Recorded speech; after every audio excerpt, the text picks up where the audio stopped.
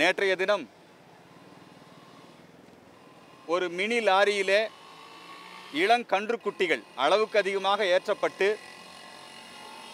ஒட்டஞ்சத்திரம் பகுதியில் இருந்து பழனி நோக்கி வந்து கொண்டிருந்த அந்த சாலையிலே வைணவ பெருந்தலைவர் மன்னார்குடி ஜீயர் செண்டலங்கார ஜீயர் அவர்கள் அந்த வண்டியை அவர் அந்த காட்சியை கண்ணுற்று அதை கொண்டு போய் காவல் நிலையத்திலே ஒப்படைத்து வழக்கு பதிவு செய்ய வலியுறுத்தினார்.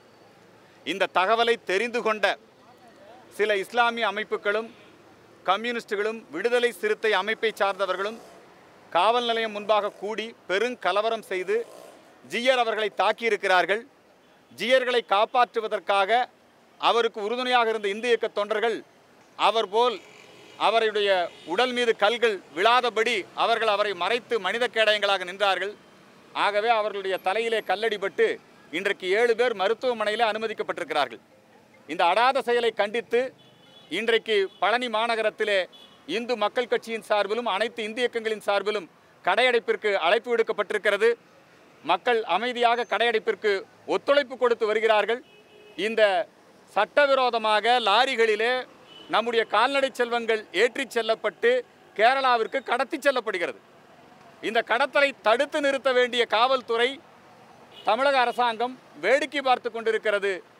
எங்கெல்லாம் இந்த கால்நடை சட்டவிரோதமாக ஏற்றப்படுகிறதோ அங்கெல்லாம் ஹிந்து இயக்க தொண்டர்கள் அதை பிடித்து காவல்துறையிடத்திலே ஒப்படைக்கிறார்கள்.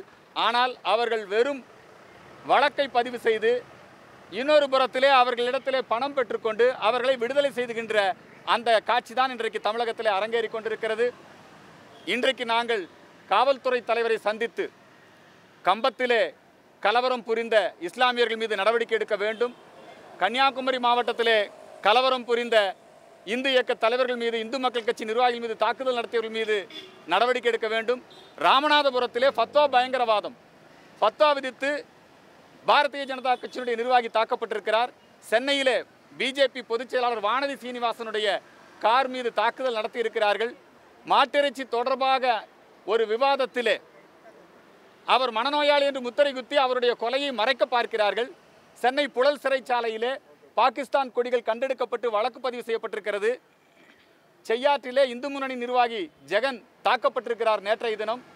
இந்து மக்கள் கட்சியுடைய மாவட்ட பொதுச் செயலாளர் தமிழ்ச்செல்வன் அவர்கள் அவரை கொலை செய்யும் நோக்கத்தோடு சமூக விரோதிகள் அவரை தாக்கி இருக்கிறார்கள் இப்படி துப்பாக்கி வைத்திருக்கிறார்கள்.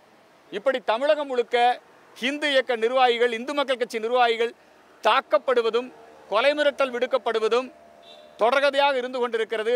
தமிழகத்திலே தமிழக போலீசார் இந்த தமிழகம் தாலிபான் நாடாக மாறி வருவதை ஜிகாதிகளின் கூடாரமாக மாறி வருவதை தமிழகத்திற்குள்ளே காஷ்மீர் பயங்கரவாதி குர்ரம் பர்வே சுற்றுப்பயணம் தமிழகத்திற்குள்ளே ஐஎஸ்ஐஎஸ் நடவடிக்கைகள் அதிகரிப்பு இதையெல்லாம் இன்றைக்கு வேடிக்கை பார்த்து கொண்டுதான் தமிழக அரசாங்கம் இருக்கிறது.